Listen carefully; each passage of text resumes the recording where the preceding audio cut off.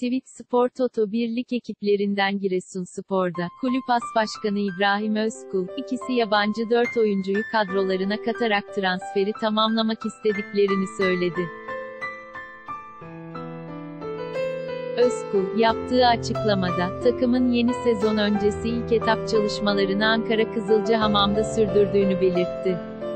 Kızılcahamam kampının 6 Temmuz Cuma günü sona ereceğini ve 9 Temmuz Pazartesi günü Bolu'da ikinci etap kampına başlayacaklarını ifade eden Özkul, iyi bir hazırlık dönemi geçirmek ve lige tam anlamıyla hazır girmek istiyoruz.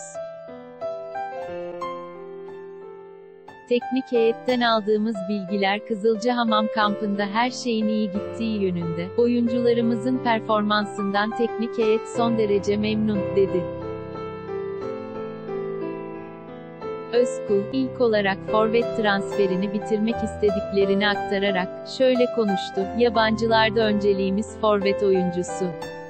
Hücum hattına iyi bir forvet oyuncusu almak istiyoruz. Belirlediğimiz bazı isimler var. Görüşmelerimiz devam ediyor. Yine orta sahaya bir yabancı oyuncu düşünüyoruz. Bunların yanı sıra iki yerli futbolcuyu da kadromuza katacağız ve transferi sonlandıracağız.